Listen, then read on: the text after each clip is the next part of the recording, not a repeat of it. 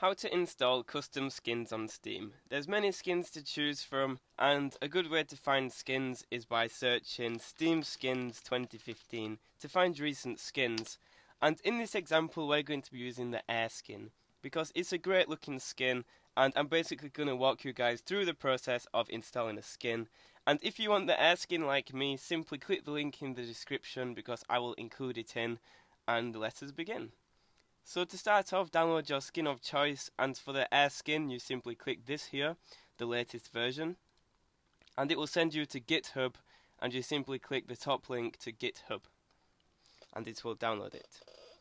Once you've done that, we now need to install the fonts folder first for our skin.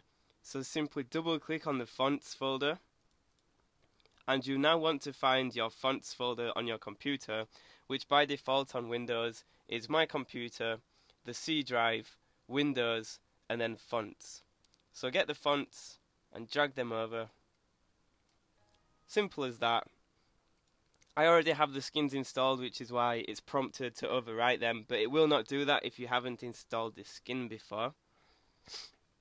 So there we go. So that's half the battle done.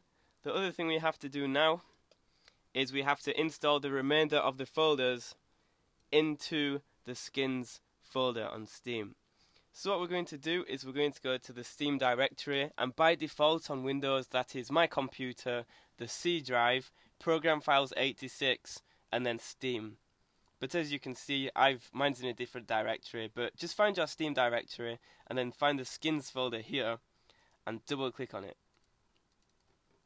You then want to paste everything in except for fonts Oh, sorry, you need to create a folder first. If it's not already in a folder, just simply create a folder so that you can put all of the files in it and simply get all of the files except for fonts and drag it in like that.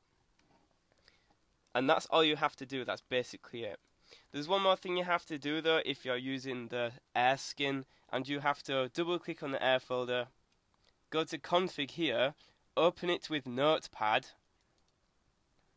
and you want to select the color.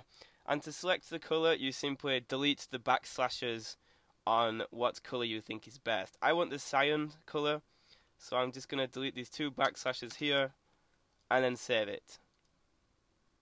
And that's all you have to do. So now to activate the skin, simply open Steam up, go to Steam at the top left, click Settings. You want to go down to Interface and select the skin you wish Steam to use. And we're going to select Air and OK. And restart Steam. Steam will now restart.